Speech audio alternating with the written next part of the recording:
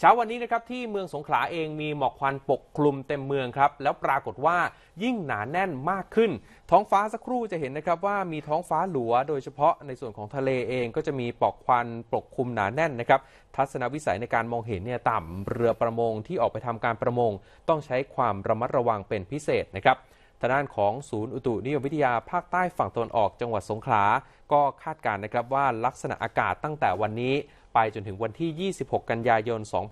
2562 ลมมรสุมตะวันตกเฉียงใต้ที่พัดแรงขึ้น น่าจะสามารถพัดเอาหมอกควันจากเกาะสุมาตราเข้ามาปกคลุมทางภาคใต้ และจะทำให้มีฝนเพิ่มมากขึ้น แต่ฝนเองก็น่าจะช่วยบรรเทาสถานการณ์หมอกควันได้เพียงชั่วคราวเท่านั้นนะครับ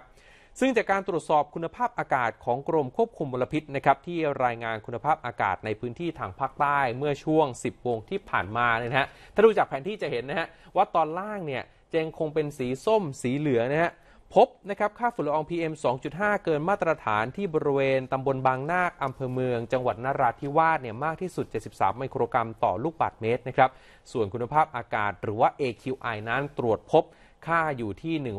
157 นะครับ ซึ่งเท่ากับว่าเริ่มมีผลกระทบต่อสุขภาพของประชาชน รองลงมาคือที่ตลาดใหญ่อำเภอเมืองจังหวัดภูเก็ต PM 2.5 เนี่ยพบอยู่ที่ 59 ไมโครกรัมต่อลูกบาศก์เมตร ที่ตำบลบ้านควรอำเภอเมืองจังหวัดตรังอยู่ที่ 57 ไมโครกรัมต่อลูกบาศก์เมตรตำบลพิมานอำเภอเมืองจังหวัดสตูลอยู่ที่ 55 ไมโครกรัมต่อลูกบาศก์เมตร ตำบลสเตงอำเภอเมืองจังหวัดยะลาอยู่ที่ 54 ไมโครกรัมต่อลูกบาศก์เมตรนะครับสำหรับพี่น้องประชาชนที่อยู่ในพื้นที่ดังกล่าวเนี่ยก็ควรที่จะระมัดระวังหรือว่าหลีกเลี่ยงการออกกำลังกายกลางแจ้ง โดยเฉพาะในส่วนของกลุ่มเสี่ยงนะครับ กลุ่มผู้ชราหรือว่าเด็ก หรือว่าคนที่มีโรคมีอาการในส่วนของระบบทางเดินหายใจระมัดระวังกันด้วยนะครับ